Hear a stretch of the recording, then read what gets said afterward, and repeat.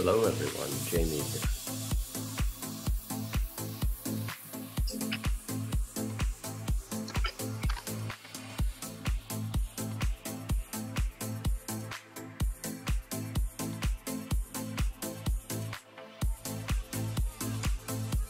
Hello. Good afternoon, good morning. Morning. Good morning. Good morning, all. Hello, this Agnieszka. Hi. Hi. I seem to have received a message that perhaps my uh, Uh, dear Mrs. Deputy Minister Ivanova, dear lecturers, dear guests, I am pleased to welcome you to today's meeting on the International Space Cooperation for Safe and Sustainable World. This is the third consecutive event organized by Ministry of Economy, the Office of Technology Transfer, Risk Space Transfer of Bulgarian Academy of Science, and Sofia Tech Park dedicated to space. The main goal of these information sessions is to raise the awareness of the Bulgarian community of experts and specialists from the state administration, industry, scientific and public organization about the latest achievement in the field, in the field of space at European and global level, thus helping to identify national priorities for the development of the space sector in Bulgaria. Today, we will have the pleasure to hear the senior experts, representatives of one of the leaders in the space sector, the United States of America. With the launch a month ago of the managed spacecraft Dragon from the company SpaceX, a new beginning was set in the space business. Experts and analysts are yet to assess the impact of these projects for the future development of the space industry and business, and their contribution to the all spheres of public life. Finally, in order not to look like Hollywood, I would like to thank all those who made great efforts to hold this first Bulgarian-American meeting of the specialists in the space sector, which I hope will set a new beginning of, for the development of bilateral cooperation in the field of space between Bulgaria and the United States of America. Now I would like to introduce Mr. Nathaniel Stefanov, Vice President of the Management Board, Vice Chairman of Management Board of Sofia Tech Park, uh, who is our host, and he will moderate our session today. Nathaniel, the floor is yours. Thank you, Carmen. Before I proceed, because I know that the people in the stream are hearing us, but I wanted just to make sure that everyone on Zoom also hears as well. Could I have your sign that you're hearing us well? Thanks a lot. Thanks a lot. So, So, once again, once again, hello everyone, especially to the people uh, in our stream. Today we have gathered people like from the dream team of aerospace industry uh, from, from the US, so it's a really great honor for, for all of us to be here. So before we start, I'd like to give the welcoming floor to Mrs. Uh, Liliya Ivanova, who is the Deputy Minister of Economy in Bulgaria and the Bulgarian representative in the European Space Agency. So Ms. Ivanova, welcome.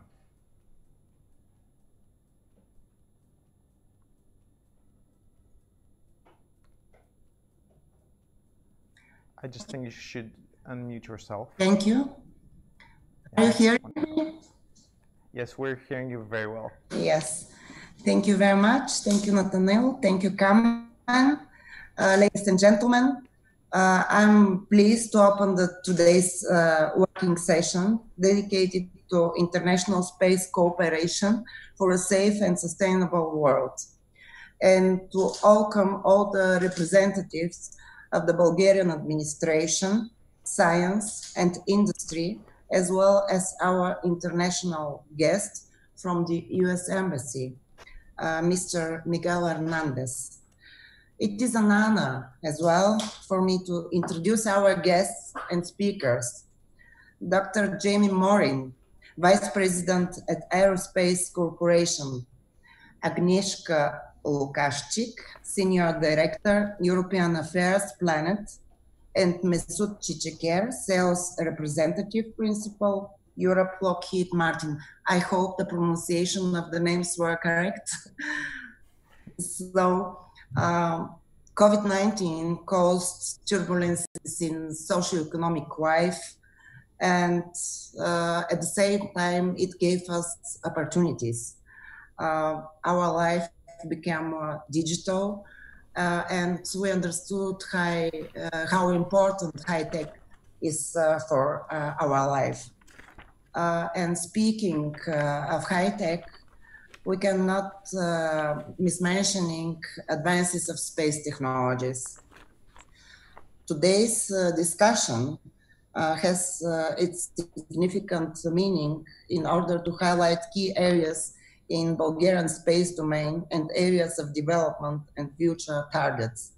It is also our role to support SMEs and companies in matching space to user needs in order to strengthen their competitiveness.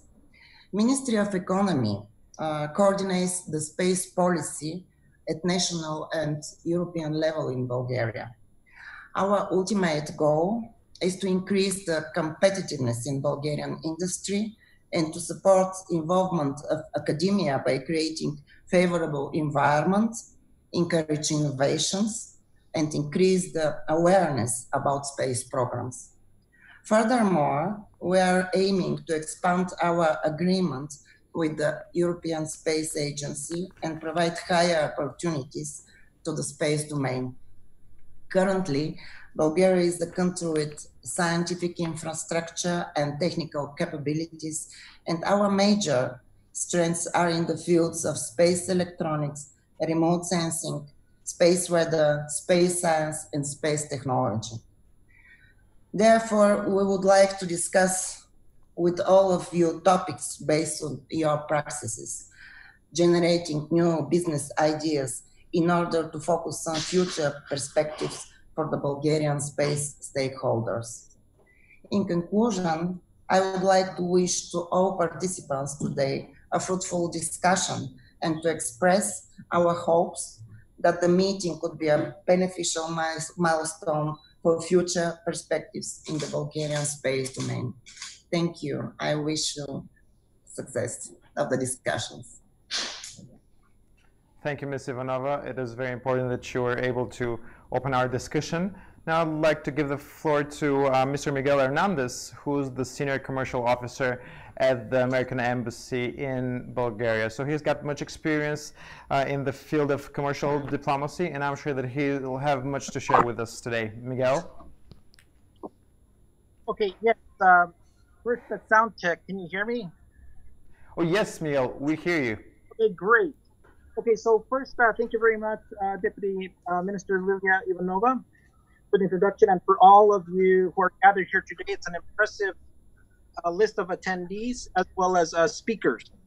So first, I will make just three points uh, on education, U.S. Embassy uh, projects on government, on the commercial side, and with a cultural point. Okay, so first, at the embassy, we really are, are working with Bulgaria to uh, put the dream of working in space. And I, will give you some examples on the education side. Because Bulgaria has a history of strong performances in sciences, you know, we support, the embassy supports many STEM education programs. Uh, from teaching robotics to children in libraries throughout Bulgaria, to uh, encouraging Bulgarian students to apply to as well as teachers to, to attend space camp in the US. And I, I've been in Bulgaria now two years. Every Bulgarian I meet has a bachelor's or master's degrees in the sciences. I, my theory is that each Bulgarian baby is born with a table or a Mendeleev table, and then they can start playing with dolls or toys. Um, so I think they knew that they they put the science in them early on. Another example, last year we brought NASA astronaut Richard Linnehan to Bulgaria, again to meet with an actual astronaut who flew aboard Space Shuttle Columbia and flew above uh, on Space Shuttle Endeavour. We did a program for him where it's a little known fact, but Bulgaria is one of the biggest manufacturers of space food, and they currently uh, support uh, space programs throughout the world. Um, I have a theory for the long life of Bulgarians. If you eat uh, the Bulgarian yogurt, Lactobacillus bulgaricus, you can live to be 100 year, years old. So, U.S. government projects. We have recently signed an agreement with the Bulgarian government. It was the agreement for space situational awareness services and data. And this is because uh, a, a couple years ago, SpaceX launched a Bulgarian satellite into space, and uh, we wanted to make sure that we would avoid any potential collision or damage. So this is something that we uh, negotiated actually this year. Another example is with the Lockheed Martin F-16 deal. This is a, a deal that brought Bulgaria in, uh, you know, strengthened our NATO, the NATO alliance. And when Lockheed Martin was here, we promoted a program with the STEM sciences where we had students uh, able to do uh, uh, special projects in the sciences, as well as you know, fly the uh, flight simulator. And I know we'll have somebody from Lockheed Martin speaking here uh, later on. So we look forward to hearing from him. Finally, I learned the Bulgarian word for pride, and it's gordost. And I know it was all in the news this uh, these um, this these past few weeks when the SpaceX launch, uh, successful one most recently, had a number of Bulgarians who contributed to it. We had uh, Kiko Dontchev, of course, who was the ground operations director and worked um, with uh, SpaceX for a number of years. There are other Bulgarian scientists involved, uh, such as uh, Alexander Rangelov, as and and um, and a uh, Margarita Marinova, who was an aeronautic engineer. And and so just wanted to uh, to underscore that there's a lot of talent here. Finally, I'll end with a cultural point. Uh, before coming to Bulgaria, I attended an event at the Bulgarian embassy in Washington, D.C. I learned that there's a famous singer, Valia Mladenova Balkanska. She's the soul of the Rodopi Mountains. She actually recorded a song, a Bulgarian folk song, that is on the Voyager probe traveling 35,000 miles per hour in outer space. And if there are aliens out there, Bulgarian may be one of the first languages that they will hear. So with that, I'll end and uh, thank you very much. Thank you, Miguel. You just made a wonderful overview of the Bulgarian space experience so far and, and the potential. And I think this is a very good starting point, point, especially for our guests who have no idea, most probably, of what the space industry is in Bulgaria and how it is going. Uh, now I'd like to give the floor to Dr. Jamie Morin, uh, who has got really many titles, so I wouldn't spend some time on sharing because it's what is more important is his uh, input in our discussion. Dr. Morin, it's really an honor.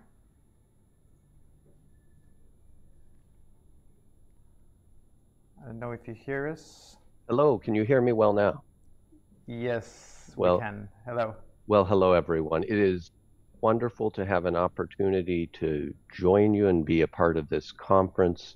Uh, thank you for Mr. Hernandez's uh, welcoming remarks from my nation's embassy there and to all of the organizers that have put this event together. It's a great pleasure for me to be with you and to talk a little bit about the importance of strategy in space. Uh, I had some presentational materials that were unfortunately uh, swallowed up through technical difficulties crossing the Atlantic. So what I would like to do is I'll um, we'll work through those difficulties. I'll provide them to organizers after the fact and uh, certainly encourage them to post them so that anyone who would like to uh, review them can look at them after the fact. But I'd be. Excuse me for interrupting. I believe you can share your screen. Yeah. Zoom, and in this way, we'll all be able to see the presentation. Yeah, I'm afraid that's not going to work on my end. The uh, transferring it Okay. between machines here is a, a challenge for that. So the but it, it is not essential to the to what I'm going to talk about today, and I'll uh, I'll look forward to uh, talking through it in perhaps more detail privately as well. I wanted to start by discussing with the uh, audience here a little bit about the value of space. Uh, those of us that attend events like this are here in part because we're convinced of that. Uh, but that is not always an assumption that officials of government have or that the populace at large in a democracy has. And so for those who are seeking to make a case for a coherent national space policy, for investment at the national level in space, for attraction of the top academic and talent and experts to space, um, it's sometimes helpful to back up and to lay out exactly how space affects human life and the ways in which it makes a difference for us. There's a my uh, center published a, an extensive report on this just uh, a couple of months ago, which I would commend to you if uh, you visit uh, aerospace.org slash policy. You'll find a, a study there on the value of space that has a great deal of uh, explanatory material. But let me delve into just one of the case studies that we worked in the course of that uh, study, which is on the agriculture sector. And in the agriculture sector, you see the intersection of multiple space capabilities coming together to increase productivity and efficiency. Uh, the phenomenon of modern precision agriculture certainly critical to the United States economy. It's increasingly important in the uh, Bulgarian economy, particularly in larger area, but it relies heavily on navigation satellites providing precise positioning information to individual tractors and elements of farm machinery. It, it, re, it, relies increasingly on data from Earth observation satellites, which can help to identify things like soil moisture levels and even the uh, energy content of crops, uh, measuring how successful they've been in growing nourishing. For the United States, there was a study done that identified the potential consequences of an outage of the uh, US global positioning system for just 30 days. And it suggested that in the agriculture sector alone, the damage would be on the order of 15 billion US dollars. Uh, and that's because the farm sector has invested heavily in exploiting space technology and would find it difficult to go back. That's one of many. The report gets into the fisheries sector and uh, construction and many other industries. We should not forget that we can't take people's appreciation for the importance of the space sector and space systems for granted. It needs to be uh, focused on the educational component of that. Uh, and that's part of why I appreciated Mr. Hernandez's remarks about the scientific and technical foundations of uh, in the Bulgarian educational system and the enthusiasm uh, that he sees all the time there. So once we've made that sales pitch, once we've explained that issue, then the question in developing strategy comes to one of identifying goals and policies and building plans to achieve them. But as we all know, I think from both our personal and professional lives, uh, goals and plans are at their best when they're focused on reasonable and achievable objectives. So, what I'd like to talk about next is how to define reasonable and achievable objectives in the space sector. And I'll ask everyone in the audience to just take a moment and envision uh, a simple Venn diagram.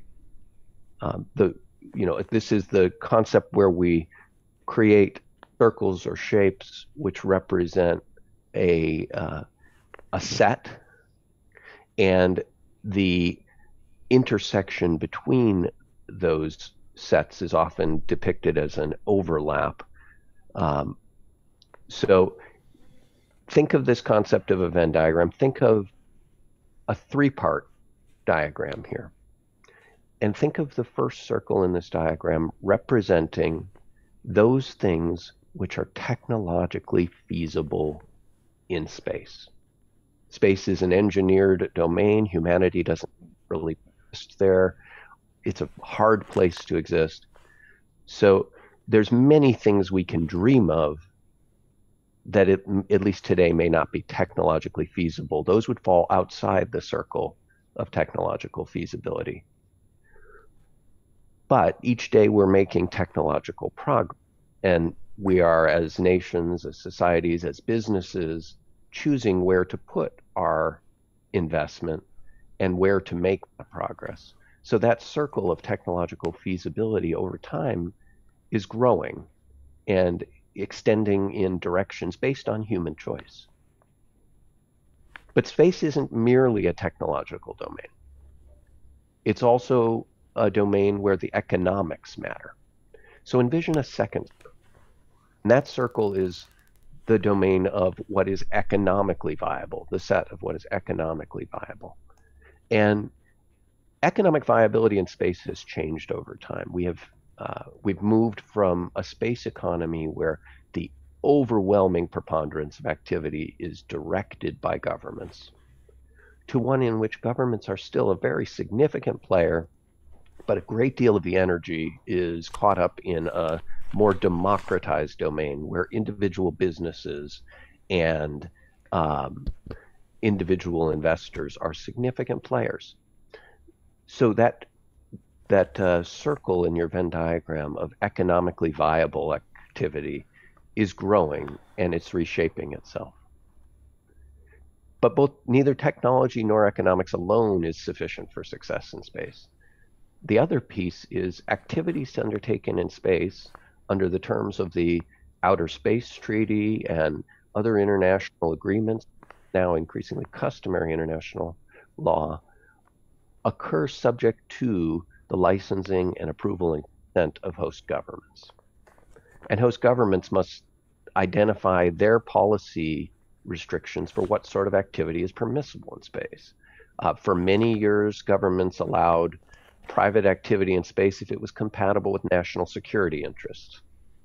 They're increasingly uh, expanding the kind of activity that's permitted by their companies and universities and other players. And they are also adding some new considerations. You're increasingly seeing heavy consideration to space sustainability. Don't launch things into space that are likely to worsen the growing debris problem, for example, or further complicate the, the electromagnetic spectrum allocation problem. So the domain of what is policy acceptable is also changing and morphing over time. What we can actually accomplish in space is represented only by the intersection of those three circles that you're envisioning the policy acceptable, the economically viable, and the technologically feasible. I think the best way to conceive of national space policy, um, the national space policy terrain today, is to think about how and in which directions the nation is going to seek to expand the intersection of those three sets the policy acceptable, the economically viable, and technologically feasible. I think that is a critical question facing a nation like Bulgaria as you look to grow and expand your space economy. There's another set of choices that are important to make in this regard. Um, space capabilities, even though they are increasingly democratized, are still expensive. They still take significant time, intellectual energy, and money to deliver. So, for a nation which, like any nation in the world, does not have an unlimited economy or an unlimited pool of technical talent, it's important to think about what capabilities it's essential for the nation to fundamentally control. What are the sovereign capabilities that a nation wishes to have access to? On, on top of those, where are the capabilities where a nation comfortable sharing with other countries and organizations. Uh, Bulgaria currently moving forward toward European Space Agency full participation. As a participant in the NATO alliance and as a member of uh, space situational awareness data sharing agreements, there are there are many capabilities where, at a national level, Bulgaria and many other nations have made decisions that they will rely upon others or be in a shared control environment where a third area is what are those capabilities where we're you would only be comfortable uh, sorry where you would be comfortable even if those capabilities were controlled by completely outside organizations or countries or the private sector. And uh, the nation did not have even any significant role in shaping those where they would in essence buy it as a service or partake in an international public good. I think uh, thinking through those kinds of questions helps to focus and uh, uh, what are the ultimate objectives of formulating a strategy. Uh, the U.S. Uh, has continued to grapple with these kinds of questions. Uh, under President Obama, a space strategy was published just less than 10 years ago and the United States has moved forward to update that under the current administration um, with several uh, significant additional policy directives. I would say that across the um, recent history, it's been clear in all these directives and all these strategy documents that securing the scientific, the commercial, the security benefits from space is a clear national priority. There's also a clear and strong thread in these strategy documents about cooperation across sectors, cooperation across the national security sector, commercial industry, the civil, scientific, and exploration sector, uh, and international cooperation as well. There is a thread that's increasingly strong uh, under the current United States administration to uh, identify that other actors in the international system are making investments and taking decisions uh, that appear to be significantly increasing the threat environment in space. Turning it into a warfighting domain is a phrase that's frequently used. Um, invest missiles to shoot down satellites and orbital weapons and jammers and things of this sort. Those are those are troubling developments, and um, the the current administration has laid out a you know plans for response there.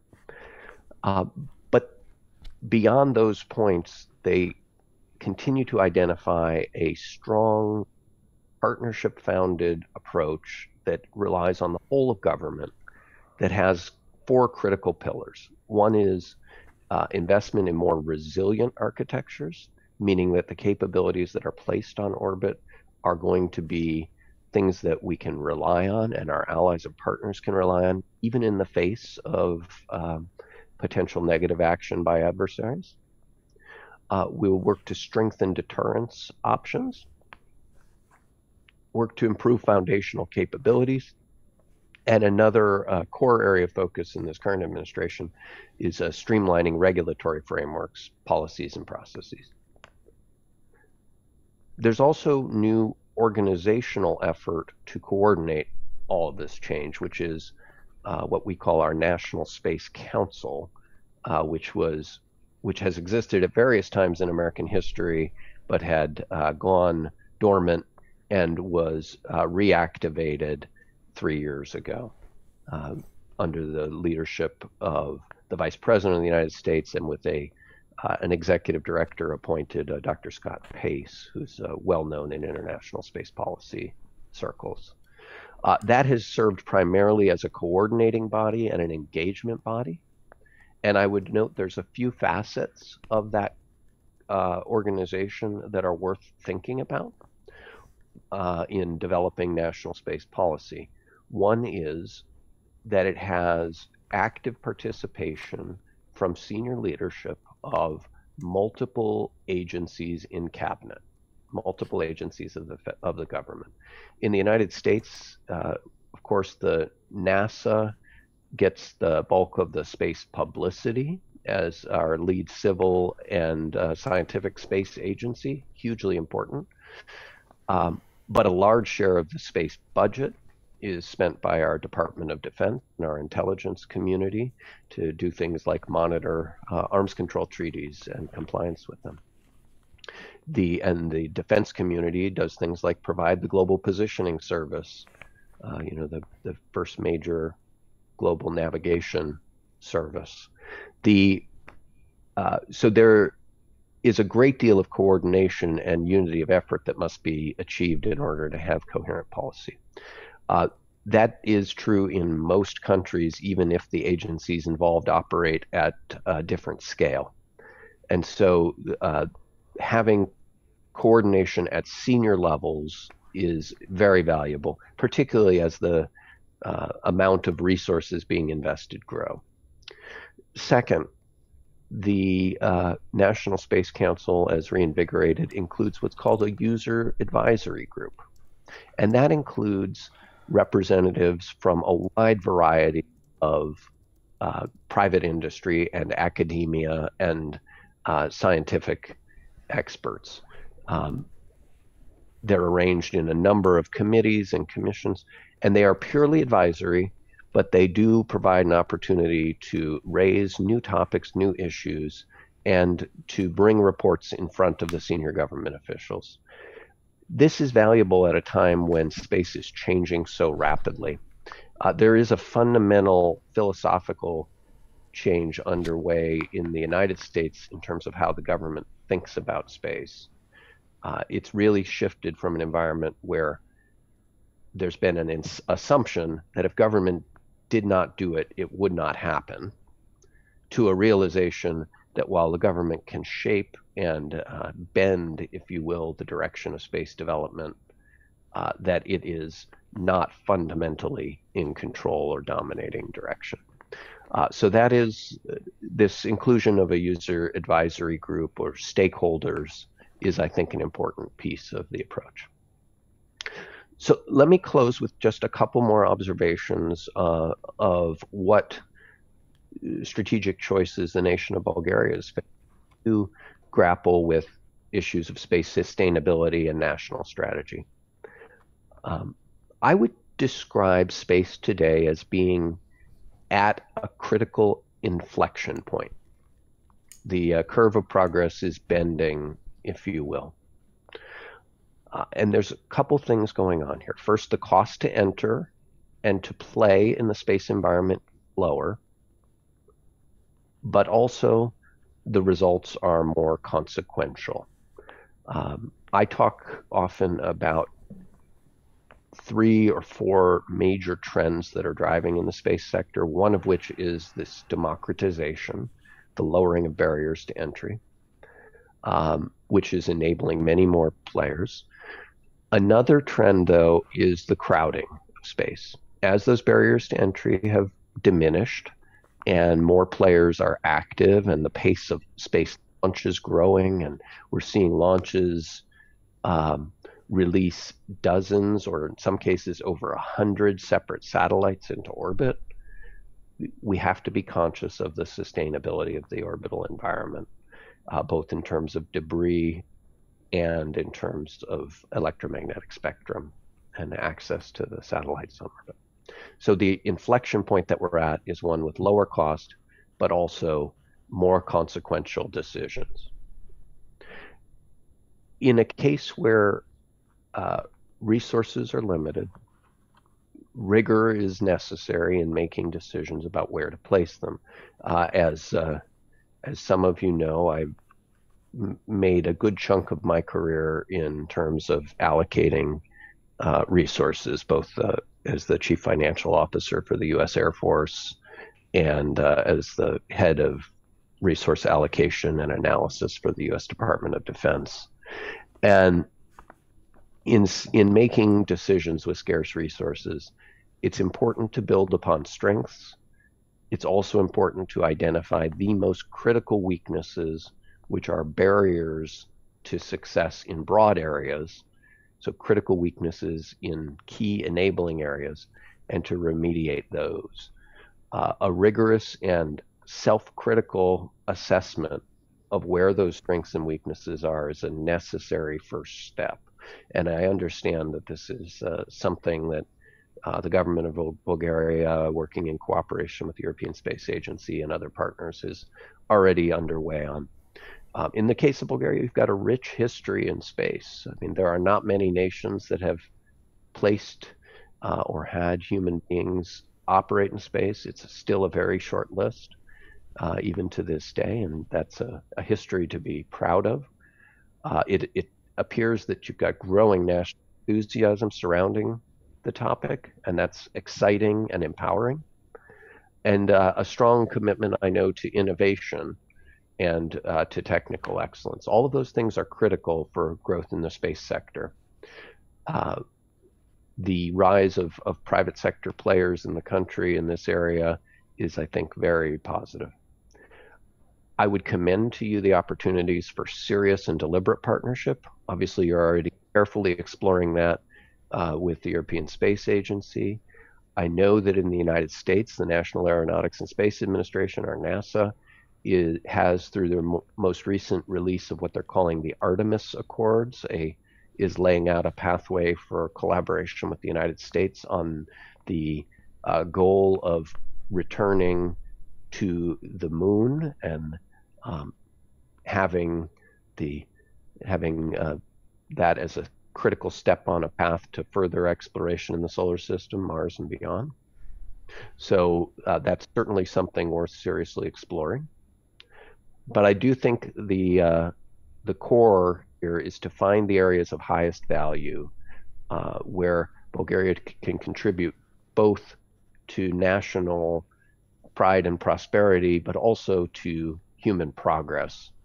Um, work in space is one of those areas where we really achieve things as a species, as humanity, as as a globe, as much as we do as an individual nation or as a uh, a single state or person. Uh, so, active participation in a global dialogue and partnership is, I think, a critical component of the strategy. So let me uh, close my comments there. I'm sorry I wasn't able to provide the uh, visuals to go with this, but I hope that I've been able to draw the picture well enough with words uh, that you've followed the core points. And I, I do look forward to continuing the dialogue and answering questions. Thank you very much, Dr. Morin. Uh, your session was very informational. Like I wrote down a whole sheet with uh, comments and questions that probably we could go back to later on. Uh, I'm very happy of hearing your comments because we will have enthusiasm in Bulgaria, but it is really good when it's verified by people, from, like from people with your experience. So we'll go back on what our next steps really should be in general. Uh, first, as different organizations which are working in the field on the one hand, and on the other hand, as from the Bulgarian uh, government in general, and really find this um, equilibrium between the government and the private sector. And we believe that really the US has this very good experience, and you've got many good success stories that you could share. So anyhow, we'll go back to this uh, in the Q&A session. And now I'd like to give the floor to uh, Ms. Agnieszka Lukaszczyk, who's the Senior Director for European Affairs at Planet. Hi, um, thank you very much. It is my great pleasure to, to speak to you today. Thank you for the invitation. I really appreciate it. I am going to share uh, my slides very quickly, and so that I can show you. Um, all right.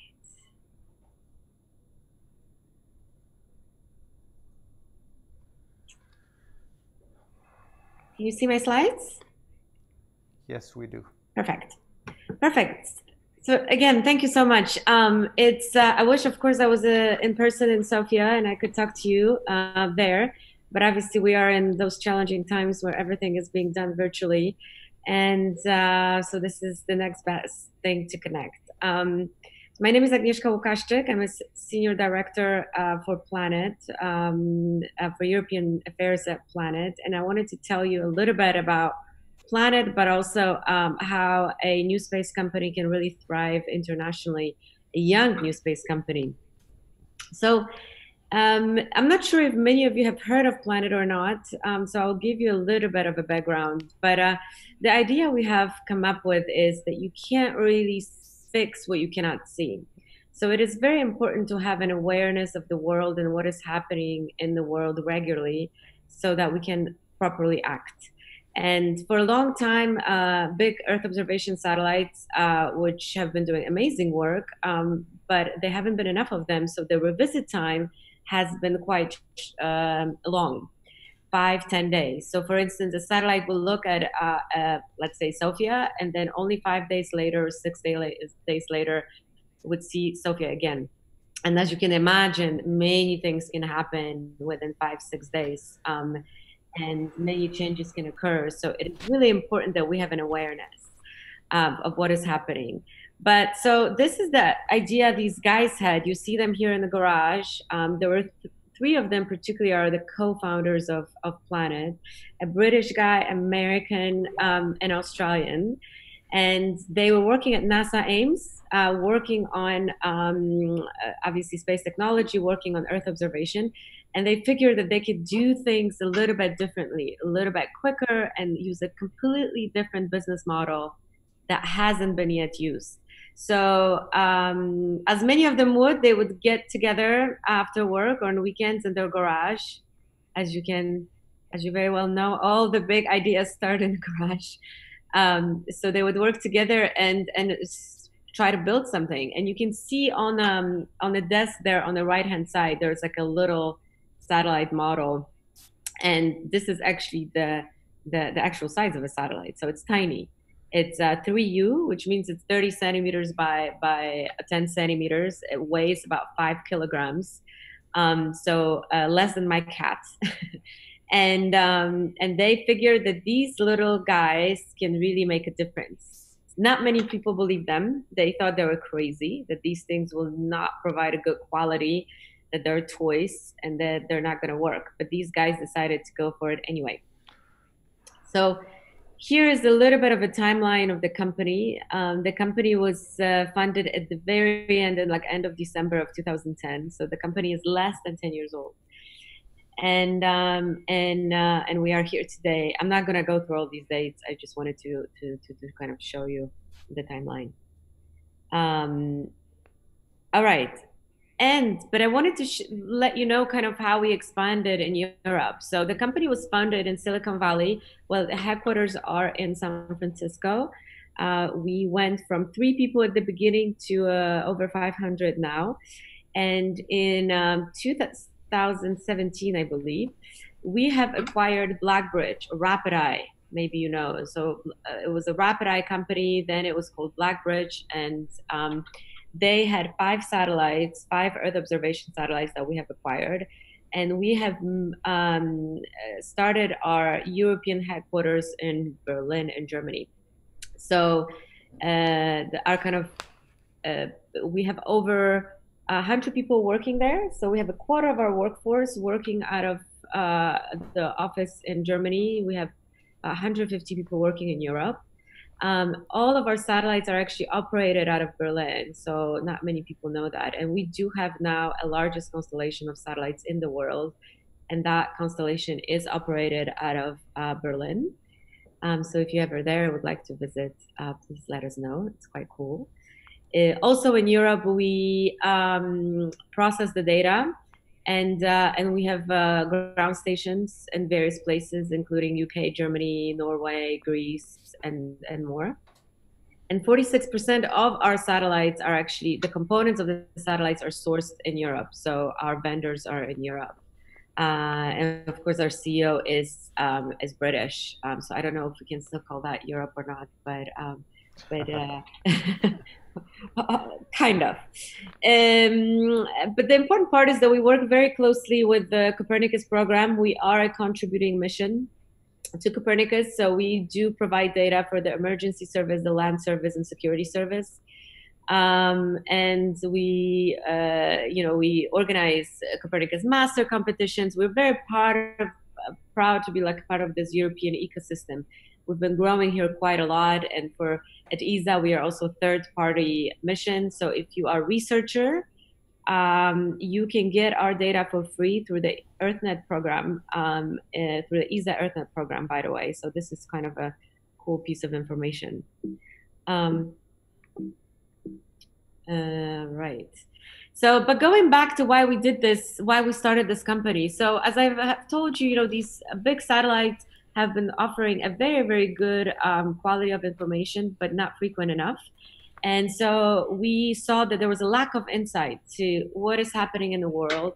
And therefore, that led to lack of action and, of course, uninformed decisions, right? The leaders cannot make good decisions if they do not have a proper situational awareness.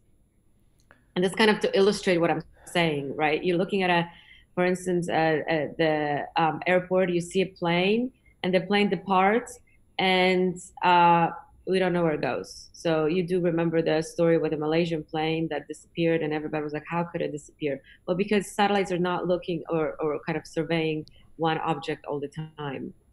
Um, another uh, example, for instance, for Ill- illegal logging, you know, within five days, a lot of trees can be cut, right? So after five days, a lot of damage can be done. So if you would see it immediately, you could react immediately. Um, so that's why we think um, this kind of uh, constant monitoring is extremely important. And so we came up with this mission. Mission one was to image the entire world every day. Nobody has done that before. We're like, you know, this is really what's going to give us a proper situational awareness. And this is the baby that I told you about earlier. So that you saw on that desk. So this is our Dove. That satellite is 3.5 meter resolution, and uh, and we have deployed over 400 of those. Right now, probably about 160 are operational, um, and that satellite is really a game changer uh, for us and for the world, we believe. So I, um, we are able to manufacture. So we, because we are launching so many satellites, we're able to manufacture 40 satellites per week, which is absolutely crazy because normally it takes years to build one satellite. But we kind of, our business model is very different. It's not that we do, by the way, uh, manufacture 40 satellites per week because we don't need that many. But if there's a need, if we need to launch very quickly, we can uh, produce those uh, quite efficiently. And this is what happens. So this is really important to see. So we launched so many of those satellites. They are in sun synchronous orbit. So it's an orbit that goes from, you know, from north to south. And those satellites are static. Uh, they're not moving. I mean, they're moving uh, north to south, but we cannot move them left to right. And Earth is obviously moving inside that belt. And it's pretty much like it's going through a scanner. So each satellite takes a strip uh, image uh, of images, and the other one, the Earth turns a little bit. The next one takes another image, another image. So within 24 hours, we're able to uh, image the entire world, and that happens every day. Um, I wanted to show you a launch really quick. This was the biggest launch in history so far. 104 satellites on this launch from India. Those are our satellites, by the way, being just thrown out of the window like garbage. That always scares me when I see that. But that's how launches are done. You think they're very glamorous. They're not. They're just thrown out. Uh, but there were 104 satellites on that launch. 88 of those were ours, and this is how we made our, our constellation. Um, so just to give you an idea what I've been talking about. So 160 plus are those little guys that are in the middle that I told you about. Five RapidEye satellites are the ones that I told you uh, we have acquired from Germany. We have just retired those guys. They've been working for 12 years or so. So uh, they are uh, being deorbited. And on the right hand side, those are the interesting ones. Um, I actually need to update that slide. We have 18 of those. SkySat satellites, and they're special because they are very high resolution. So they take an image of 50 centimeters. They can take videos, um, and you can task them. So what is happening that uh, the very nice combination with the doves. Doves are you know monitoring constantly, and then when we have an area of interest, we can send a SkySat, uh, zoom in, and take really really good picture. Those satellites are larger; they're about 150 kilo, uh, the size of like a small refrigerator um, if you can imagine that. So here's just kind of a types of images that you can see. Um, that I mean, we have a lot of lot of examples, but um, those are the areas that we're working in. Obviously, there are many many other areas. Agriculture is definitely huge for us, uh, but also emergency, energy, uh, forestry, obviously government. So a lot of lot of areas where we are um, working and providing our data here are just some uh, numbers. You know, numbers often speak a lot. So we're taking 1.3 million of pictures, images every day. So uh, that's a lot, and it's really important that this these imagery is used for something useful. So we work with lots of companies around the world that takes that data and actually turns it into information, service, um, application, etc we own um, 45 ground station antennas around the world. And by the way, what is also different about Planet is that we we are kind of vertically integrated. We do everything in house. So most space companies actually specialize in something. So they, for instance, operate satellites, but they procure them from somebody else, or they just manufacture them and sell them. We do everything in house. So we do the R and D. We manufacture them. We operate them. We process the data. Um, what is also nice with this model because we launch a lot so we launch four to six uh, times a, a year uh, which is a lot each time we launch satellites that are better than the satellites we have launched before so because we do everything in-house we can tweak them we can work on them we can make them better. So we had already 14 iterations of that Dove. So that technology that is up there is always um, the top technology that is available available today.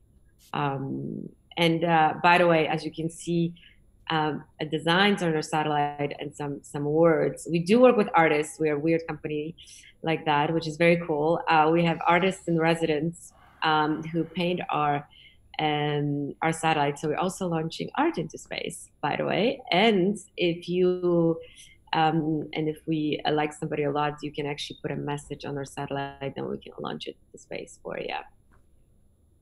But what's next? So all that data is super super cool but it's useless if uh, nothing comes out of it, right? So we we all know the end users are really interested in solutions and not really data. They don't care where the data is coming from.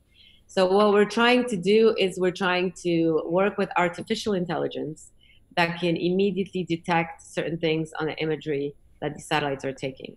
So they can detect houses, they can detect uh, detect cars, trees, um, bridges, etc., ships. And that is very useful because then you going to get answers to questions. For instance, you can ask how many trees have been cut in southeast Bulgaria between March and May 2019, and you're going to get a number immediately. Or how many uh, buildings have been destroyed in this earthquake, and you're going to get a number immediately. So this is the type of stuff that we're trying to um, that we're trying to do. Here you get a little bit of, uh, uh, you know, information and uh, kind of to, to, to, to get a kind of a situation awareness of what is happening in the Amazon. Um, you know, deforestation is really bad over there, and we've been monitoring this, and um, and, and and and it's you know it is what it is, but uh, it is happening. We should do something about it. Um, counting ships, I've already mentioned that. You can also obviously do that with our algorithm that we're using. Um, and what we're also, those are, you know, I just show the news articles because we also give a lot of um, kind of, we believe in what we call transparent planet. So give people awareness about what is happening in the world. So media is often using our imagery because we think that citizens should have access to information. So if something is happening, for instance, in the world and um, some governments are denying that it is happening, well, we often have imagery to prove to the contrary. So when Myanmar was, for instance, denying that they were burning villages, we actually have footage um, of that happening. Here, you know, also uh, the deforestation of Amazon. Um, again, you know, uh, Brazilian government was uh, denying that this was happening, and we are well. Take a look at this; it is actually happening. So um, it's it's it's really this this imagery is really giving some um, serious transparency. Uh, but the last thing that I want to talk talk to you about, and this is kind of strange, but I think very appropriate for the times we're living in, is that technology does not always equal progress. Because I, I don't know, you know, who are the viewers now or listeners to this conference, but. Uh, but I'm assuming that there are some uh, maybe business uh, business people, people who want to start startups in, in, in space. And we really strongly believe that uh, there are so many problems in the world. If you're going to do something, do something that can really help the world a little bit. So don't just build technology for sake of technology because it's cool. Uh, try to find a problem that you can address. You know, for instance, look at sustainable development goals. Um, it has been determined that 13 out of the 17 sustainable goals um, can be helped with Earth observation one, one way or the other. Obviously, EO is not going to solve everything, but it can definitely help. So take a look at that and um, uh, try to uh, see if you can develop a solution and develop a technology that can really help with that. Because if not, if you're not doing that, maybe you should stop working on it. You know, our planet, planet Earth, um, is really in need of, of help. You know, we have a lot of climate change issues, biodiversity issues, a lot of issues, uh, pandemic, etc. So try to think of technology that can really help because you do not have to choose anymore between commercial or um, humanitarian. You can do both. You can have a viable business um, and and at the same time make a positive impact um, on the world. So I would like to leave you with that and to to kind of you know think of of, of technology as a tool for um, betterment for humanity. And uh, and I think if we if we have that mindset, we can really make a big change. Thank you very much. This is um, this is it from me, and I'm obviously happy to take questions. I don't know if it's now or later, but uh, uh, but that closes my um, closes my presentation. Thank you very much, Agnieszka. The questions will be at the end of our session. Okay. But what you just shared is quite impressive. Uh, it, you showed in a very good way how you could start with the problem and then create the solution, which is really the entrepreneurial uh, approach on, on doing high value uh, product companies. Uh, probably it's, it's good to share that we have a very interesting uh, company from Bulgaria called Endurosat. They're creating nanosatellites. So this may be also something else to, to talk later on uh, because we also have some uh, first steps in, in this direction. And how we can talk about this later. Now I'd like to give the floor to our final speaker today, uh, Mr. Mesut Çiçeker, who's working for Lockheed Martin. He is the main sales representative for Europe. Mesut, can we hear each other? I don't know if, if Mesut is online. Could you see I don't hear Mesut? Yes, uh, I do hear you well. Uh, I hope uh, you can hear me. Uh, yes, we can hear you now. Uh, unfortunately, the light conditions in my office doesn't allow me to uh, show my face to you. Um, but I think uh, what is important is what I say more than my uh, my uh, look, I guess. Yes, it's totally okay, and we hear you very well. Excellent, excellent. I think I provided uh, the presentation material to Katya, and uh, if yes, if she can please uh, start it, that would be great. Yes, hold on a sec. I close my I close my uh, drapes. Uh, the windows are behind me, and uh, so that's why I think you don't see me. it's okay. Now we're going to look at the presentation. So excellent. This is what what is more important. Excellent. Well, please proceed with the with the next chart. Well, Lockheed Martin is a, a U.S.-based company. Uh, it is uh, headquartered in Bethesda, Maryland, U.S., and uh, it's a global security and aerospace company. Uh, it has uh, four major line of business: uh, aeronautics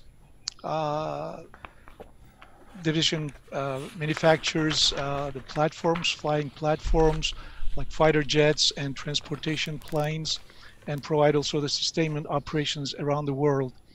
Uh, missiles and fire control, it's another line of business. Uh, well, I think you can understand from the, the, the, the title, it is uh, core business, it's in missiles and uh, precision uh, fire controls. Uh, rotary and mission systems, we recently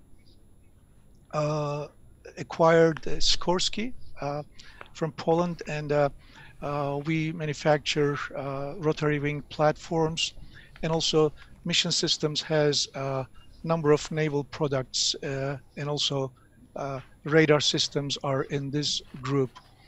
Uh, the space systems, it is uh, one of the fourth and also equally important uh, line of business of Lockheed Martin Corporation. And it has number of good capabilities uh, providing to uh, U.S. government, allied nations, and also to commercial satellite operators. Uh, next chart, please.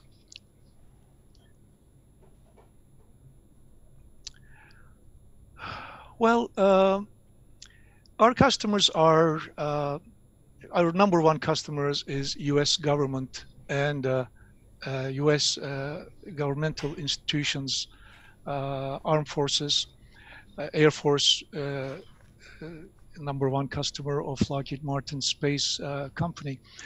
we, as I said, we also provided a lot of commercial platforms for commercial satellite operators.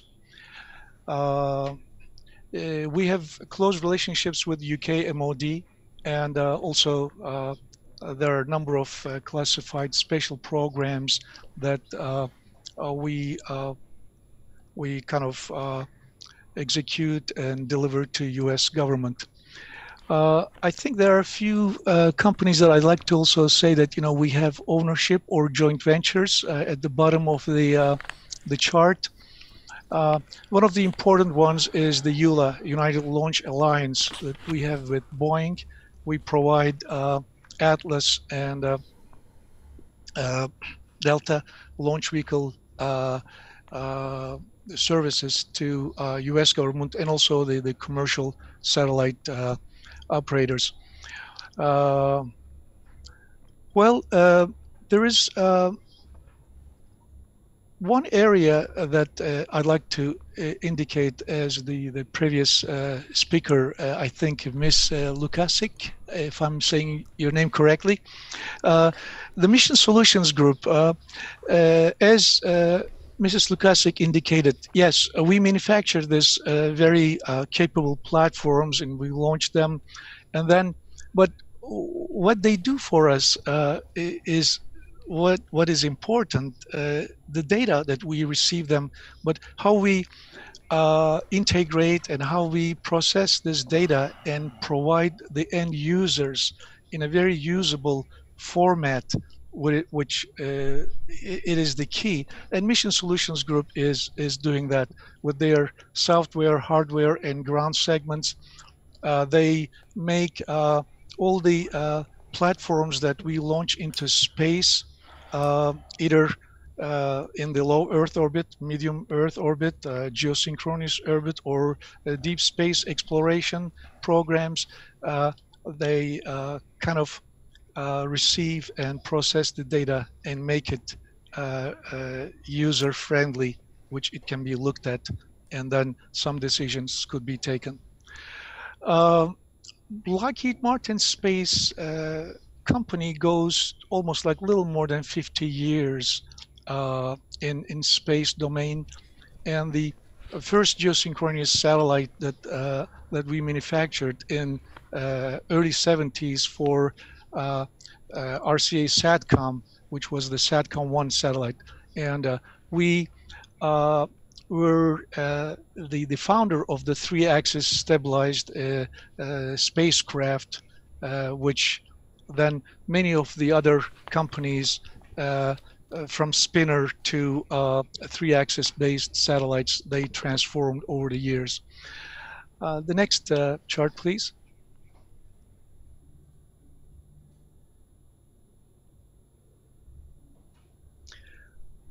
Well, uh, this chart is a little bit of a, marketing uh, chart, but I wanted to use it just to give you an idea.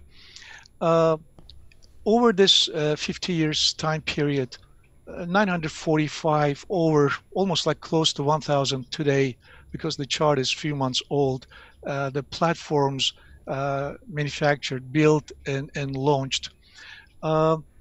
mission success is very important for for Lockheed Martin, as all the other uh, space companies, uh, uh, with the exception of very few platforms that uh, following the the launch uh, step, launch event, very few of them we had a chance to to fix it because of their position and where they are and how it can be uh, treat, how it can be uh, repaired. Uh, uh, one of them was like Hubble telescope, for example. But uh, most of the platforms, after it's launched, it is uh, not reachable or it is impossible to repair them, to fix them. So uh, those platforms, uh, also, I go back to my uh, design, integration, and test days in my earlier years of my career in US. we subject these platforms so much test and environmental conditions. We uh, force them to see how they respond. And I, I, believe when they launch and separate it from a launch vehicle, they uh, they say, "Oh, thank God! Now I'm through this. Now I can I can live and, and function and operate in a in a very uh, in better better conditions." So we we test them very heavily. And mission success is very important and uh, I'm very pleased to say that you know uh, overall we have a kind of a very impressive factor of a little over 99% of emission success. Um, and one thing also to indicate, uh, because of our uh, different line of business and expertise, uh, uh out of this uh, little over 18,000 people, uh, the majority of them, more than 50 or 60 percent, are uh, scientists uh, with uh, doctorate and, and master degree. the the science is very important in Lockheed Martin culture, and uh, uh, every single uh, Mars mission that Lockheed Martin has either played a prime or sub role. So we have a contribution to uh, Mars missions, uh, not to mention number of uh, deep space exploration that that the company is involved. The next chart, please. Uh, and the, the next one, please. Uh, just one before, please. Uh, yeah, uh, this is a, our uh, famous LM2100 uh, spacecraft, which it is the evolution of RCA's platform from the mid 70s. And we call uh, it is LM2100 because it is 21st century's platform, three-axis stabilized. It is very capable. It can go up to 18, 20 kilowatt payload power, so you can put a lot of payload uh, uh, hardware on this uh, spacecraft. It has uh, the uh, flexible solar arrays, which uh, also the International Space Station ISS is using this flexible solar arrays.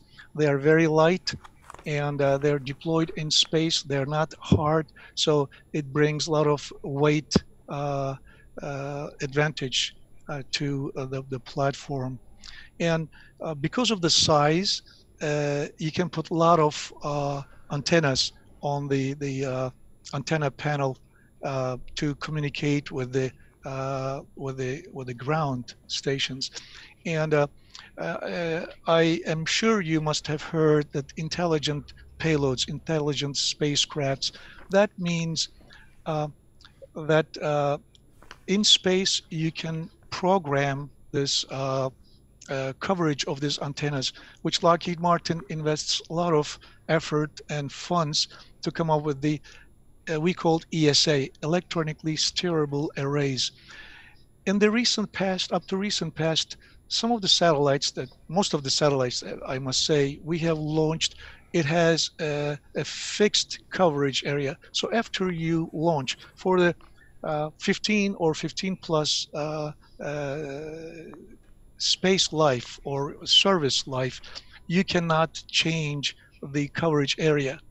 But thanks to the engineers, uh, I think most of the companies uh, implemented that uh, technique now that uh, you can electronically steer the certain parts of the antenna uh, to uh, redirect your your transmitted signal. So that allows you to cope with the market changes. So um, so you don't have to have a fix, but then you can adapt based on your your uh, uh, uh, marketing efforts and, and, market change, which is very, very good feature to have.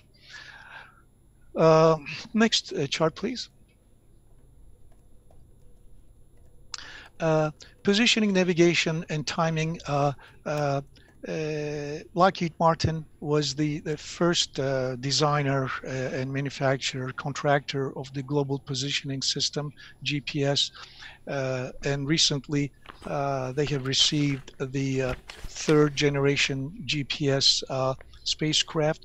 I think we use GPS. Before Galileo, there was GPS. There is still GPS, and I think it's complementary, and I think it is used around the world. Uh, next chart, please. Uh, early warning uh, early warning uh, is very very important uh, as uh, mr morin uh, also during his presentation explained one of the space used areas is to give us the warning for example when an adversary country launches a, a missile from the thermal properties change this spacecraft sensors can detect the temperature uh, dynamically being changed and and uh, also uh, determines where that is uh, so that you can take the precautions. And uh, uh, it's called SBIRS system and it provides US government and also the allied forces a very uh, uh, good, great support for uh, missile defense area. And I hope this uh, would not be experienced, but uh, uh, I'm afraid to say the conflicts never ends in our world. Always there are some conflicts. so we, we look at this early warning capabilities is a great protection to free world, Western world, and, and our allies. Uh, next chart, please. Weather forecasting also is very, very important. Uh, it's uh, Lockheed Martin, space company, has manufactured a lot of uh, weather uh, uh, censored satellites and provides advanced weather information to, you can imagine, anybody needs the weather forecast that these satellites uh, can provide a good and precise data. And over the years, the uh, the uh, weather instruments are uh, improved, of course, and we are very thankful to our subcontractors or or designers and manufacturers of those sensors, giving us uh, the best sensors that we can uh, we can integrate and and and, and launch. Next chart, please. Yes, uh, human exploration. Uh, as I indicated before, uh, we uh, are heavily involved with the the uh, space science uh, and space exploration. I think we have a great collaboration with not only with NASA, but also with all the if I name it like European Space Agency and all the uh, uh, national space agencies. I think it is very clear that uh, human space exploration or deep space exploration, it is really not uh, possible to manage by one nation. And, and, and we need the international collaboration.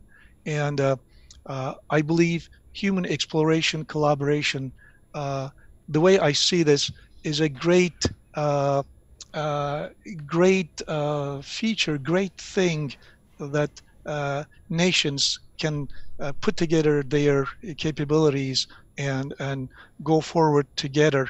It, it unites us, all human beings. Lockheed Martin is the prime contractor for Orion vehicle. Orion will serve uh, for human exploration. Uh, it is about to be uh, completing all its uh, uh, functional and acceptance tests. And uh, I believe, I don't want to give exact time, but in a very short span of time, in in in a year or year and a half, will put astronauts, human beings, on in Orion to be launched by SLS Space Launch Systems uh, for a, a, tryout mission. And then the plan is to uh, bring the humans to moon, hopefully uh, in 2023, 2024 timeframe. And then uh, I think the next big thing would be is take the humans to uh, to Mars. I, I hope that uh, one day it'll happen, but I think we'll see this happening sometime, maybe between 2030 and 2040. Uh, I don't know if my lifetime would uh, allow me to see that, but uh, I'm sure lots of young uh, uh participants to this uh, meeting, to this call, I, hopefully you will see those uh, with your with your eyes. Next chart, please.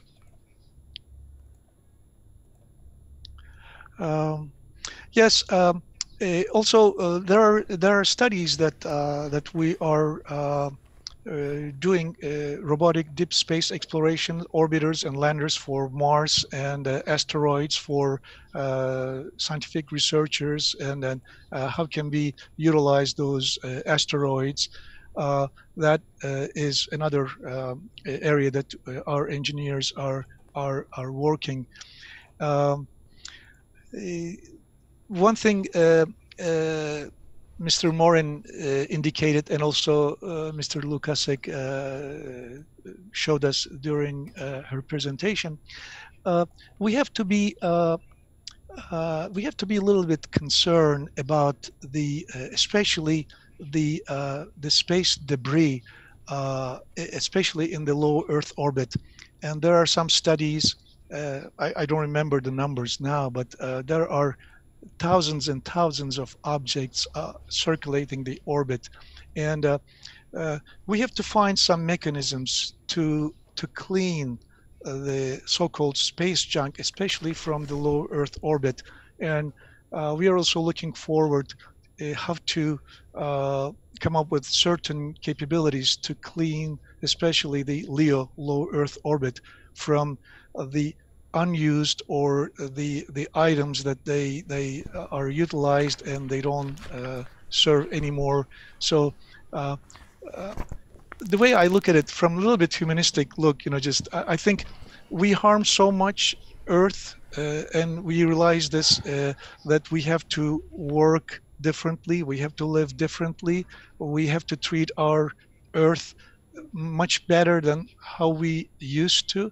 Uh, uh, as a person who is involved with space, uh, I always invite uh, the key decision makers or uh, us manufacturers and operators uh, to to use space wisely.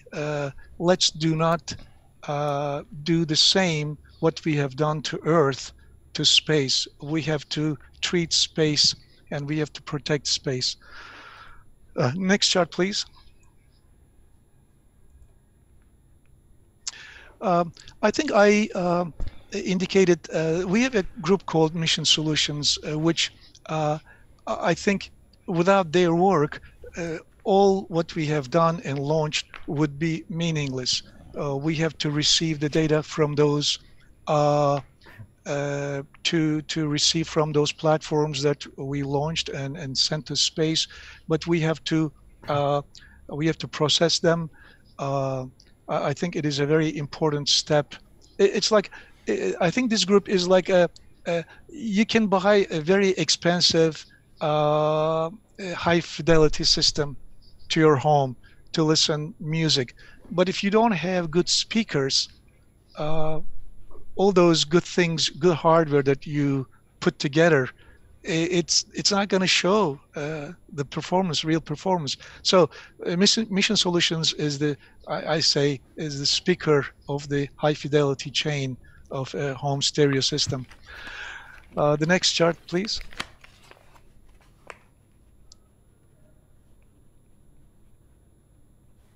I think uh, uh, that is the end. Um, one question came to direct it to Lockheed Martin. And uh, uh, I'd like to ask the moderator, should I treat that now or uh, should we wait uh, the, the question and answer session? We can wait for the for the Q&A session. Well, thank you very much uh, for your patience. Uh, and I'll be standby. Thank you as well. so it's been a very informative session. Thank you to all. Now, there are quite a lot of questions. We have some questions which have been asked in advance from some of the Bulgarian policymakers which are in the field, and I'll start uh, with this. And then we'll open the floor for some of the questions from the chats and all the social media channels. So I'll start with a question to uh, Dr. Morin. Uh, and the question is, uh, based on your experience, could you share some good examples of uh, the space industry working with uh, industry from from other fields, and what good uh, successful business models have been visible and that you know of?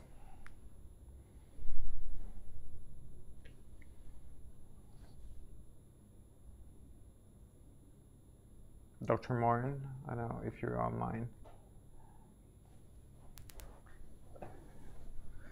Thank you. I did not have control of my own mute button. I'm afraid you had it. Oh. the uh, Sorry. no, it's quite all right.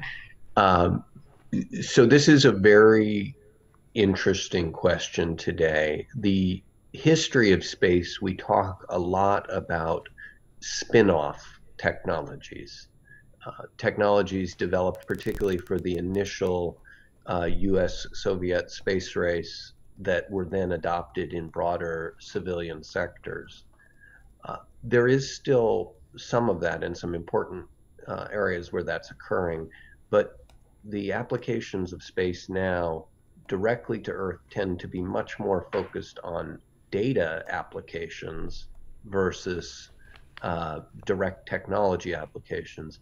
And the technology flow is going, in many senses, the other way um, a lot of what, for example, our colleagues at Planet have been able to do is founded on miniaturization of electronic components that was driven, I think, predominantly by the consumer electronic industry and the cell phones and industry. That allowed them to get to smaller form factors for many of the uh, subcomponents that make up their satellites and, and all the others that are working in the uh, CubeSat form factors. So this is a, this is something to keep in mind. There are many opportunities to pull uh, advanced technology from other domains and apply it in space. And then there are enormous opportunities to take space-based data and apply it to solve fundamental human problems, as we had with the discussion earlier about the Sustainable Development Goals. I've been part of a number of uh, hackathons and other events uh, as, a, as a judge where groups are working to develop applications of space data for fundamental human problems. So I would think of it in those terms. And there's a huge uh, set of allied industries, right? Uh, optical components is an area of excitement, uh, radar and electronics, uh, signal processing. These are areas where um, there's a diverse pool of players around the world in these industries. Some of them have very substantial potential space applications, in some cases off the shelf, or in other cases with modest investments in uh, perhaps hardening or um, making them a little more robust. So, an, an exciting area for exploration. Wonderful. Thank you very much. Uh, my next question is uh, for Mesut uh, and Lockheed Martin. So the question is, as an innovative company, how do you build partnerships with startups and other smaller uh, technological companies? And also, how do you build relationships with the academia and universities? Uh, okay, uh, thank you. well, the control button, it doesn't respond very quickly. Uh, well, uh, uh, there are a number of things uh, that we employ. One is uh, like uh, I am European and Middle East business development and sales person. in my region, in my area, one of my tasks is to also uh, establish the dialogue with these uh, startups, be aware of them, be aware of their capabilities, and see where can we collaborate. Um, first, uh, it starts with knowing them, uh, knowing uh, their interest areas and capabilities, and how can we uh, how can we work with them, determine the areas uh, and uh, for the areas that we find interesting and uh, which would serve to our uh, goals, number of goals, then uh, we can fund those studies. Uh, we share the IP, uh, intellectual property. So that's one thing.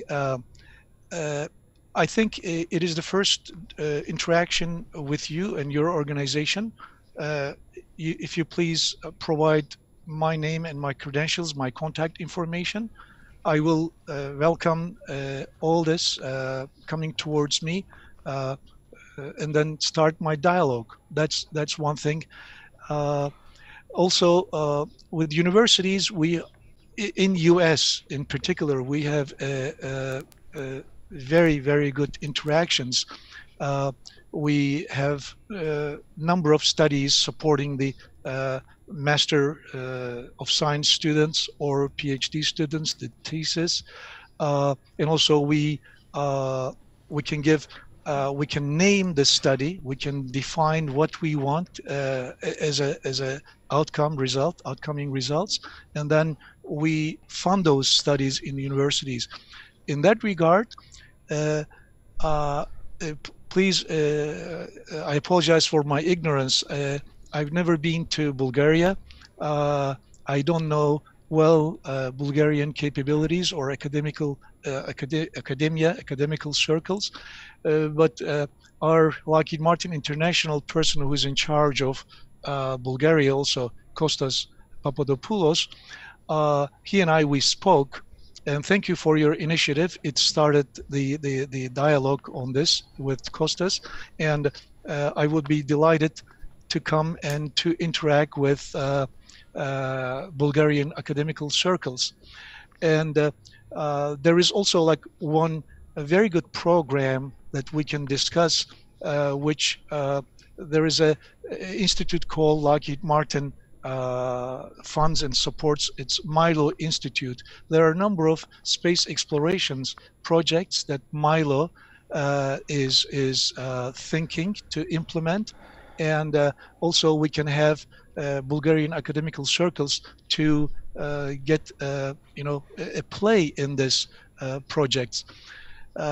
so. Um, I, I welcome all the, um, the, connections to me, and after this COVID-19 pandemic, uh, it's kind of eased further and we can be allowed to start the international travel. Uh, I will be delighted to come and uh, uh start our dialogue with the uh, startups and uh, academical circles. Thank you very much for your readiness.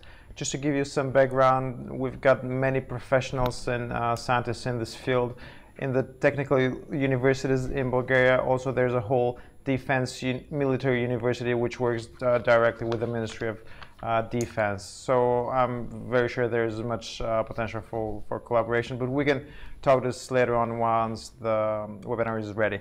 Now, the next question is for Agnieszka, and it is, uh, could you please share with us some examples of uh, partnership of Planet with uh, government bodies?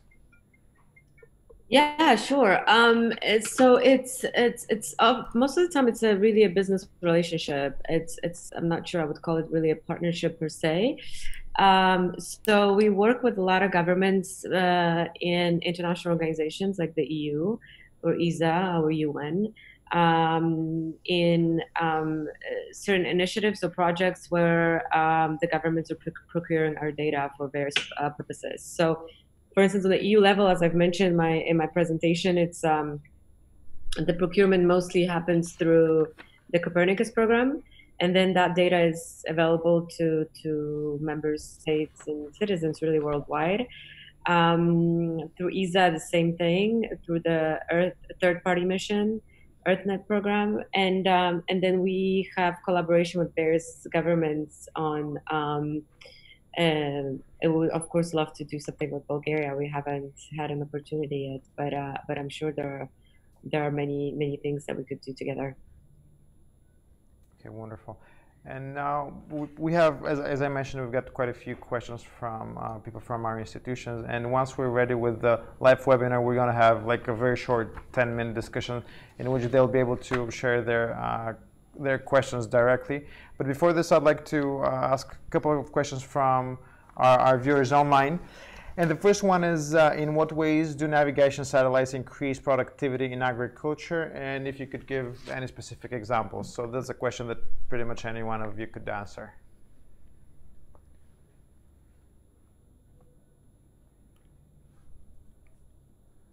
Probably, I don't know if yeah, I can jump in here. Thank you for the unmute. Uh, the so the biggest areas of application of uh, space technology for uh, agriculture come from being very uh, precise in how uh, farmers apply things like uh, pesticides and fertilizers and seed to their land. So if you know with precision um, the layout of the land, which is uh, geo uh, geospatial data.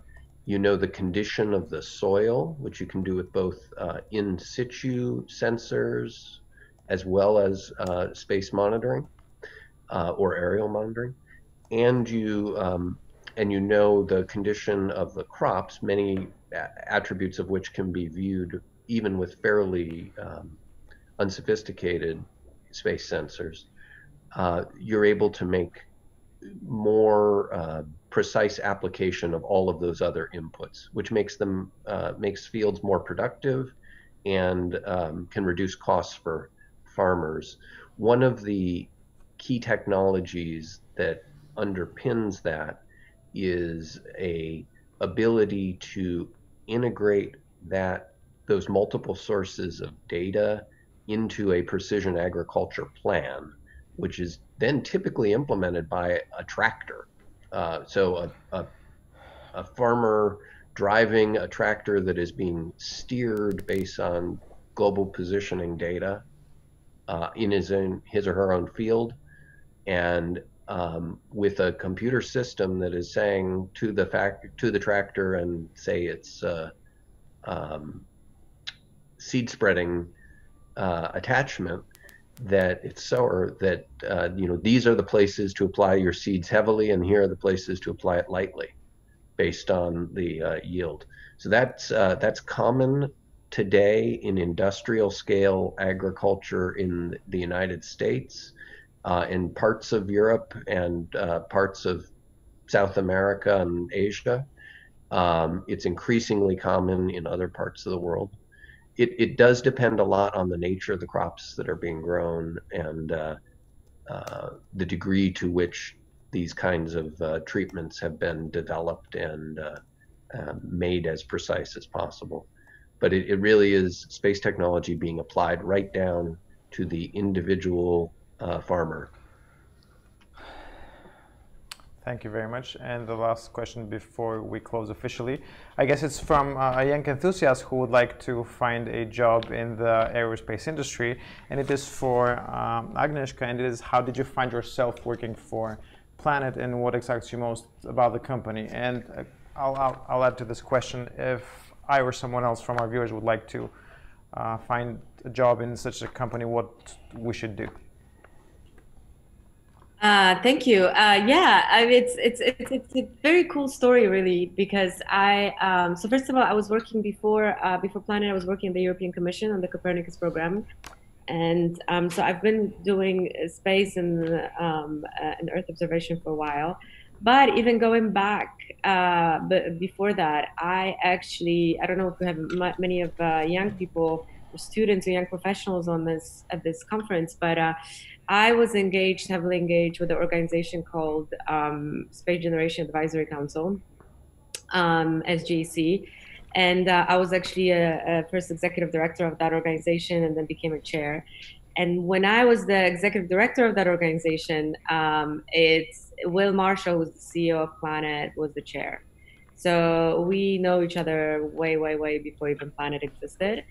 And that organization uh, is really amazing. It's, uh, it's it's working worldwide. It has representatives really, I mean, everywhere in the world. Uh, I know it has representatives in Bulgaria as well, and it's really a great network to be part of because you meet people really from all over the world, and many alums from that organization are um, ended up ending up in very uh, cool or high places. So um, so this was a really big trampoline for me and, and, and I have been, you know, I'm still very much attached to what I call my space family. Um, and uh, it's, it's, it's, it's been great. So fast forward, you know, I, I, I left SGC. Uh, by the way, to be a member of SGC, you need to be between 18 and 35 years old. Um, so Kamen, you cannot join but uh, but I'm sure somebody working from you can. um, so uh, this uh, this after that, you know, I was working for for uh, at the European Space Policy Institute, and then I worked for Secure World Foundation, um, in uh, uh, which is a, a foundation dealing with space security and sustainability issues, and then I went to the Commission. And um, after a few years in the Commission, I um, you know, I was in touch with the founders of Planet because I, have known them, and they're like, "We're expanding in Europe, and you are in Europe, and you know us, and you know, you know, U.S. works, and you're, you know, Europe. Uh, why don't you come join us?" So it was just kind of like I didn't. It just kind of happened, you know. Uh, but um, but my advice would be: so first of all, there are a couple of things. First of all, we are hiring all the time, so check our website, planet.com we are also one of uh, very few companies, I think, that is hiring people uh, worldwide, regardless if you have the right visa or paperwork.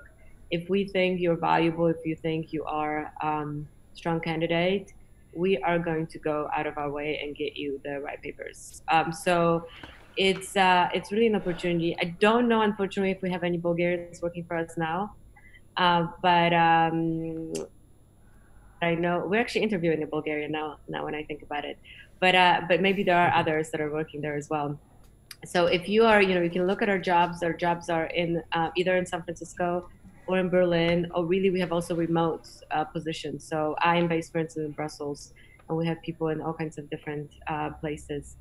And so yeah, so so you are always you always feel free to apply but to get this sort of a job in general i mean you need to be active you know in um in a, in a sector. So i always recommend getting involved in, in organizations like like sgc if you're a young professional or women in aerospace or you know iaf um, just you know having that will give you opportunity to meet people and get a good network and you know maybe publish uh, papers and um, um, yeah, just just just try to be proactive. It's I know it's not easy, but it is it is possible. You know, I'm originally from Poland. I come from a small Polish uh, town in the mountains and High Tatras, and you know, I never really thought this is what I would be doing. So um, don't think that just because you are, you know, um, I don't know, based in Bulgaria or somewhere else, that you're uh, you have no you have no opportunities. You do.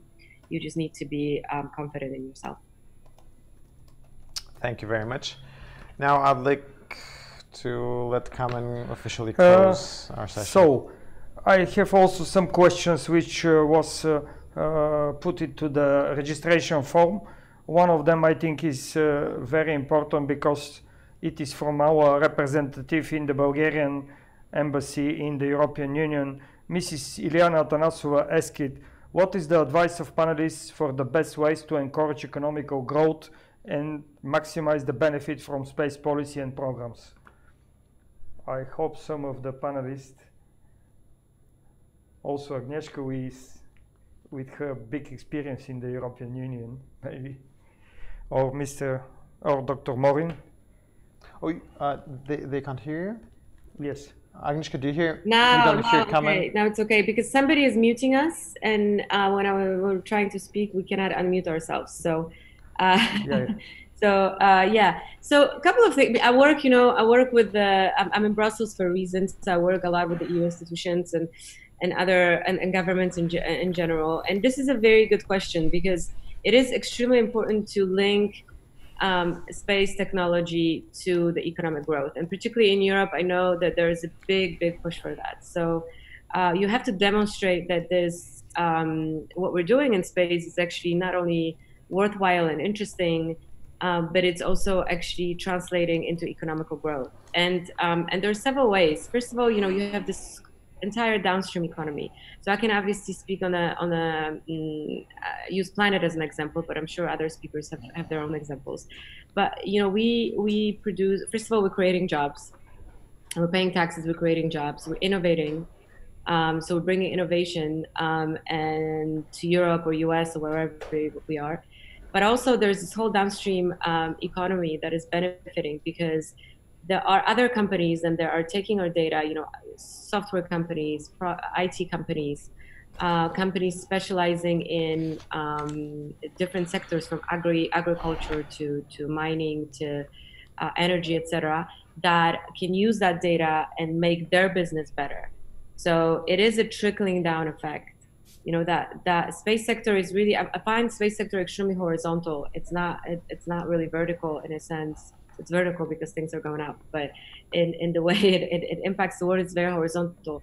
So it impacts may, very different areas um, of the economy and of life. And I think we need to create more awareness and do a better user uptake to let people know that they can actually use these tools, right? That there is that they can use um, uh, GNSS or Earth observation or telecom um, for everyday um, activities. And I think many people, uh, in ge- generally speaking, are not aware of this. We're not very good at doing PR. We're very good talking to ourselves. Uh, we're not very good talking to the external world. And I think we need to get a little bit better at that. Because when I tell people, you know, that I work, uh, for instance, friends or I meet somebody and they're like, "Oh, what do you do?" And I say, "Oh, I work for a space company." They're like, "Oh, you know, you going? Are you going to Mars, or have you met an alien?" And you know, this is what they think about space, and it's they do not understand the kind of pragmatic usage of it. So I think also the governments um, should really help uh, with that. You know, so when, uh, for instance, they they do engage with with the space uh, um, activity, they really do a lot of um, kind of a, uh, capacity building and, and, and and also awareness raising activities that go so so that space technology used specifically for I don't know deforestation, um, disaster management, agriculture, uh, monitoring of of uh, pipes. Uh, uh, and whatnot, you know. So this is this is really a, um, a, a topic in which we need to engage together. I think. That's, uh, I think, a really strong answer and some excellent examples there. I would, I would just add a couple thoughts. Um, first, in the COVID 19 environment, we've realized that there are real costs to uh, monitoring things from Earth. Right? The, the travel, uh, that people have to do to gather data, the uh, visiting with other human beings. There's risks and hence cost associated with that. In many cases, things that we can do through space um, have alternatives on Earth, but those aren't free either. Right? Instead of sending a telecommunications signal over a satellite, you can send it over a fiber optic cable, but that cable has to be laid and, and put in place and maintained. Uh, instead of gathering climate data with a weather satellite, you can build weather stations on the Earth, at least in some places. There's some data that it can only be gathered from orbit. There are these alternatives. But I think in the COVID environment, we're realizing in many cases the expense and risk associated with that grows. Many of the cases that Planet um, talks about publicly are cases where the cost of getting information comes because others are seeking to hide that information. The deforestation case or uh, civil repression, you know, in places where uh, for a journalist to make their way there and take photographs uh, involves real risk. So I, I encourage people thinking about applications of space. Think about where it is very efficient. Think about where it is safer. Think about where it will let you collect data that is otherwise unavailable because you don't have the right perspective or position to get it. And think about those cases where the sort of fundamentally global nature of the problem uh, is best solved with a fundamentally global sort of solution, which is what you typically have in space. The geometries of orbits mean that you are rarely going to be collecting data or moving uh, electromagnetic radiation in ways that are um, purely within the jurisdiction of one nation. It, it reaches at global scale. And so those are the kinds of problems that we can best apply uh, space technology too. And I think we are have a growing appreciation of the importance of those in today's environment.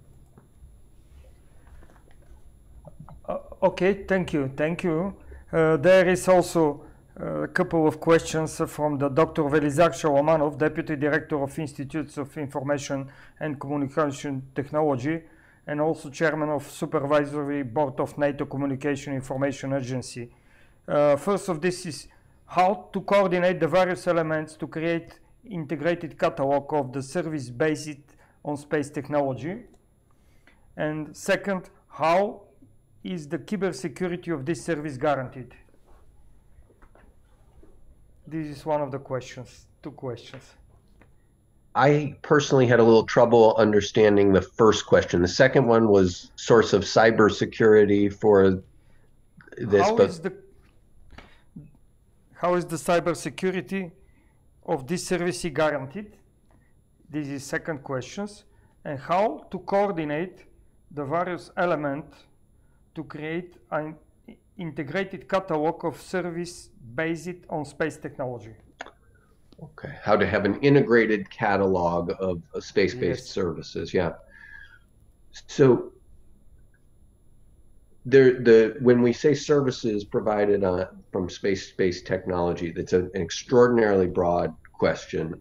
I typically, in trying to think through the services space-based technology provides, divide it into moving data from one place to another, telecommunications, gathering data, uh, broadly Earth observation, and broadcasting information that others can use for their own applications. Most the most famous example in that category is uh, GNSS positioning, right, where essentially you have satellites saying with great precision, right now the time is X, and uh, your your device is receiving that and triangulating from that to calculate your precise position.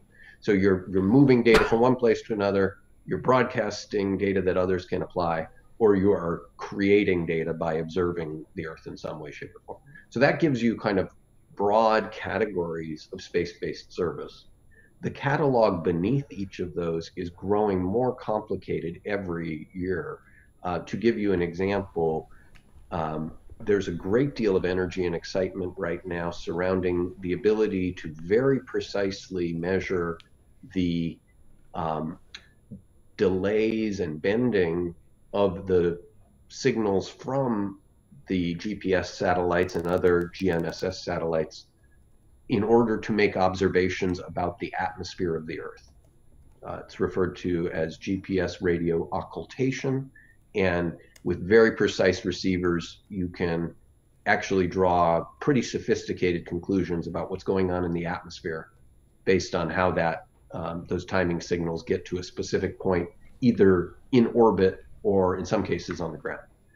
That is um, a completely new service that, you know, until just a handful of years ago, uh, the computing processing power and sensors to to deal with it didn't exist.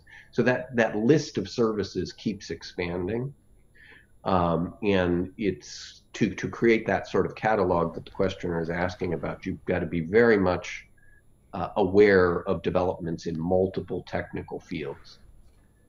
The other service that's emerging and is, I think, a critical challenge uh, going forward because we are getting more dependent on space and we are doing more things in space is making sense of what is actually happening in space. So the space traffic management problem or space domain awareness or space situational awareness problem, those are all interrelated and mean slightly different things. The uh, that becomes an enabling service for all of the other services.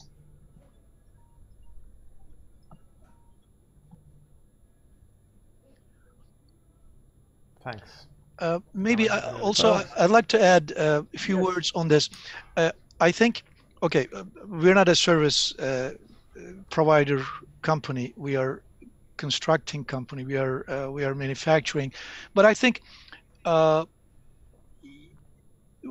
maybe we shouldn't expect one to come up with this uh, list of catalog. I think uh, there are a number of operators and providers providing service in different areas, different fields of space, and I think those companies either they don't do a good job uh, or uh, they're not available. But I, I am sure, for example, let's take one operator, Eutelsat. If one goes to Eutelsat uh, and approaches them, they come up with a, lot of uh, good things that Eutelsat is doing. Uh, there are so many different service providers. So uh, the originator of this question, I'd like to ask,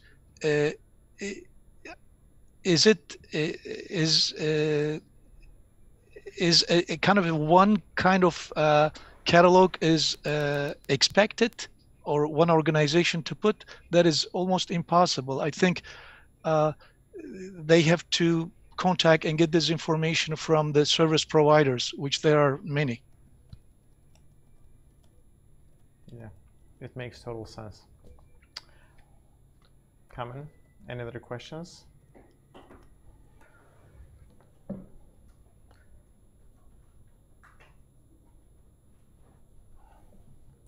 Hold on. There's some internal communication on whether we should. Uh, Just uh, a second. Katja will try to unmute all microphone of uh, the the. Now we have opportunity. Do you hear me? no, we're also muted.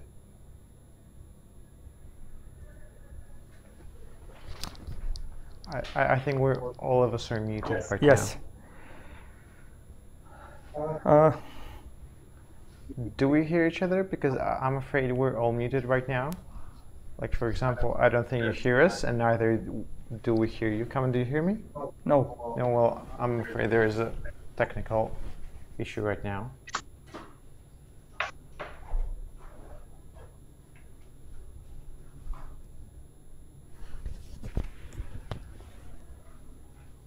Do you hear now? Yes. Yes.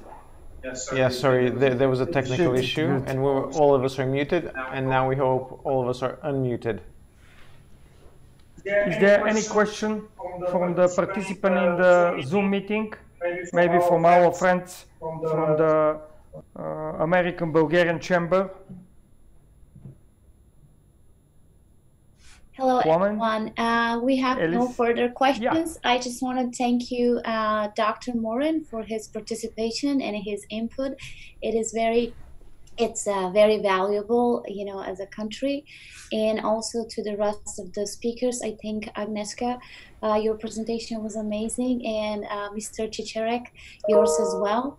So uh, thank you so much for this uh, wonderful discussion today. Thank you. I think this is a wonderful ending of our session today. We'd also like to thank everyone, especially the speakers. Uh, personally, for us, it has been a very valuable discussion, and we really hope that we'll be able to continue offline with the next steps. Okay. Thank you very much. Thank you very much for all of the speakers. I can ask the panelists to stay a few minutes in the Zoom. We will stop now the uh, streamline translation to YouTube. Thank In a few minutes if you can. Can. Thank you. Okay, we can stop now.